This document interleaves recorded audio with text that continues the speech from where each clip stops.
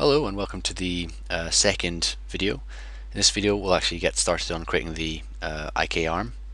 So the first thing I'll do is just create some bones and I know that I want my bone chain to have uh, a total length of 70 so I just want to create one bone which has length of 30 and another one which has length of 40.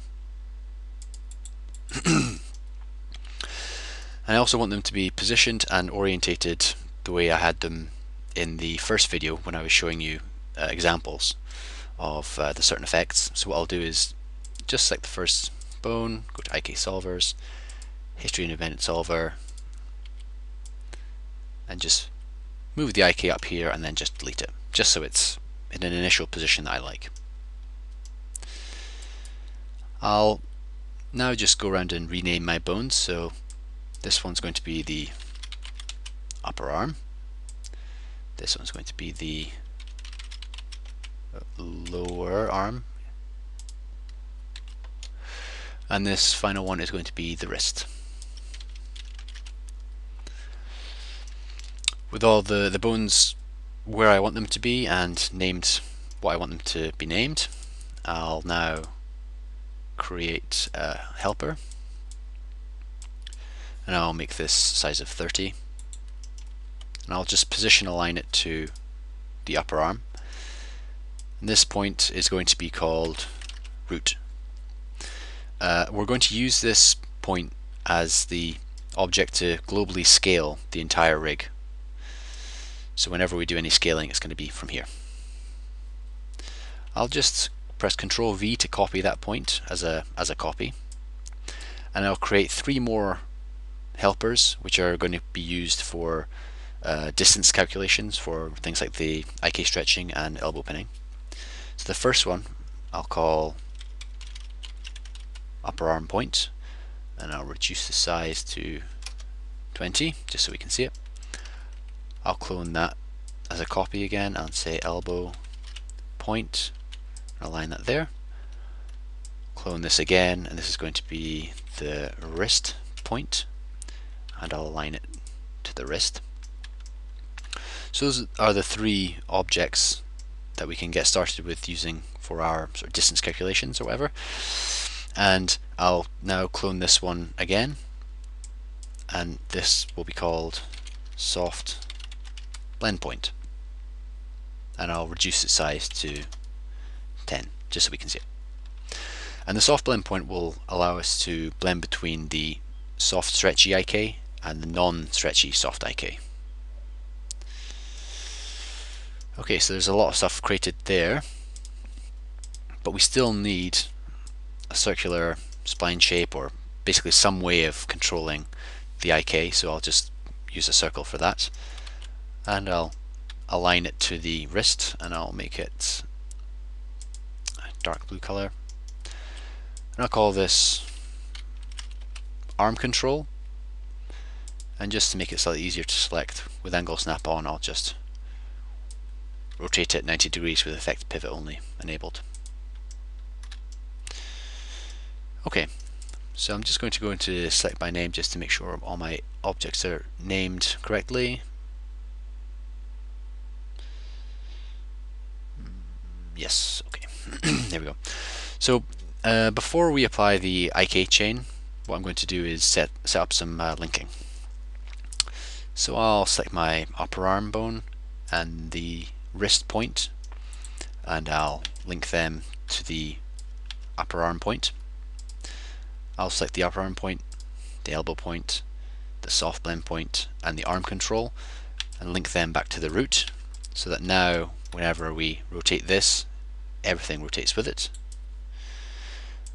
and now we're ready to actually create our IK chain so I'll just select the upper arm history independent solver and create it down there. And I'll call this armik I'll link it to the soft blend point and I'll use the elbow point as the swivel angle target.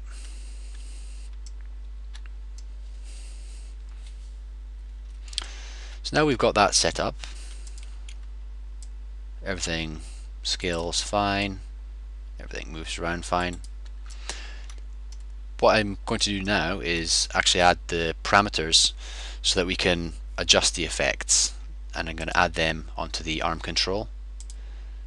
So I'll just add an attribute holder modifier which is by default blank and that allows you to add your own attributes and you can do that through animation the parameter editor here or you can do it in MaxScript with your own parameters and that's what I'm going to do.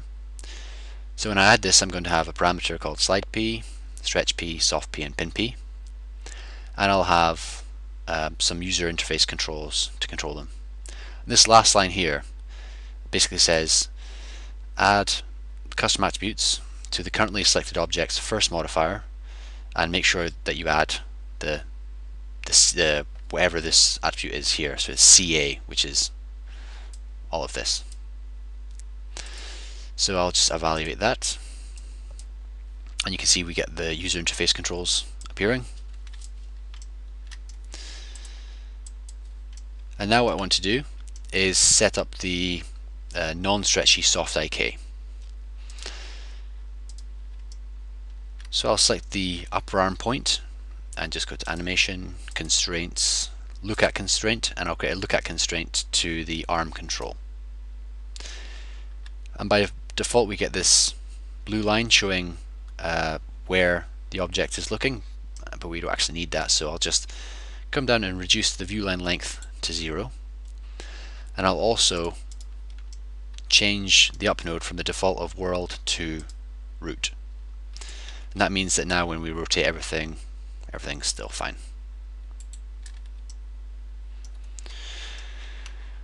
Okay,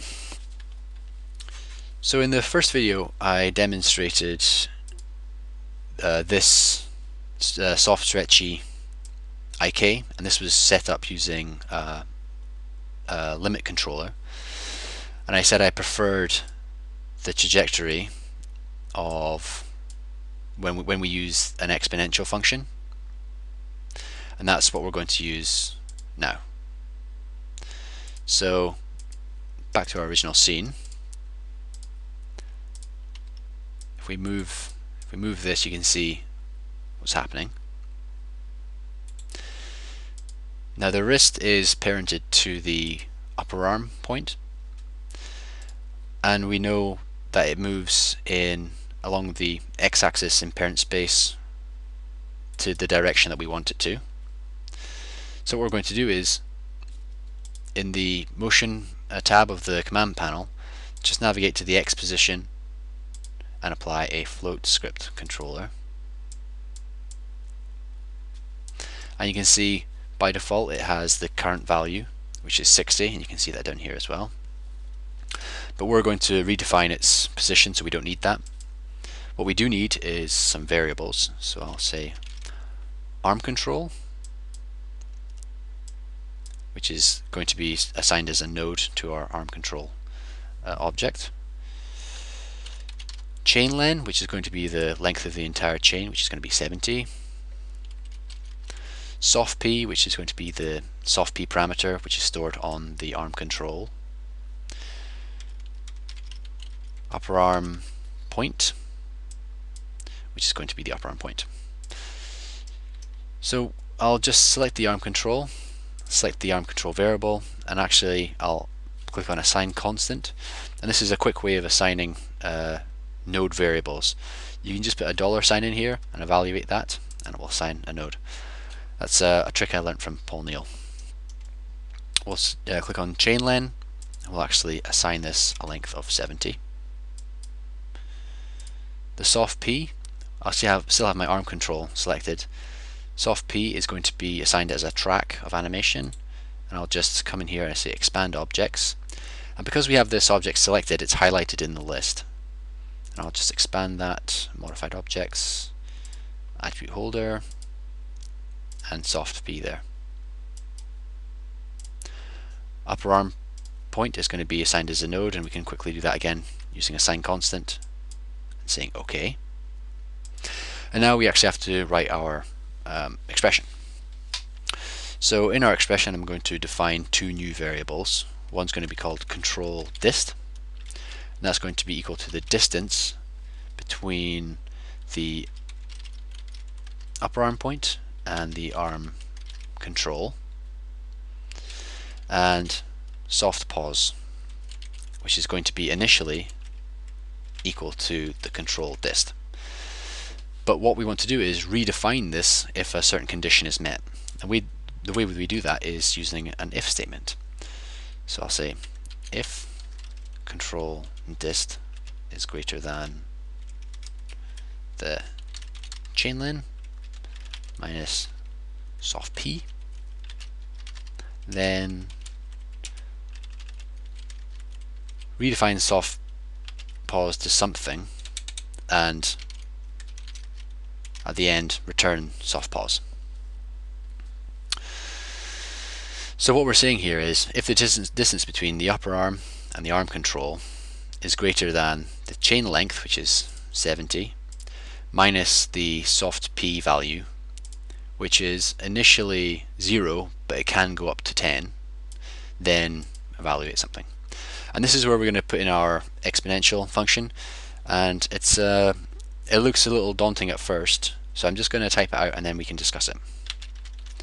So it's going to be the chain length minus soft p times the exponential function minus another set of brackets control dist minus another set of brackets chain len minus soft p and that's all divided by soft p. So what I'll do is I'll just evaluate that. And it's saying there is something not right here. Let's see. Undefined to float. Soft pos. Distance upper arm point. Arm control.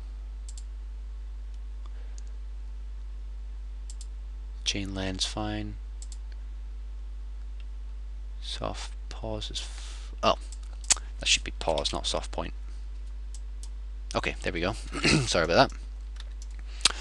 So now when we move this, you can see what's happening. And the reason why this uh, this object is actually appears to be sticking to the control is because we have a look at uh, constraint here, and then this the x value is just the distance between these two objects.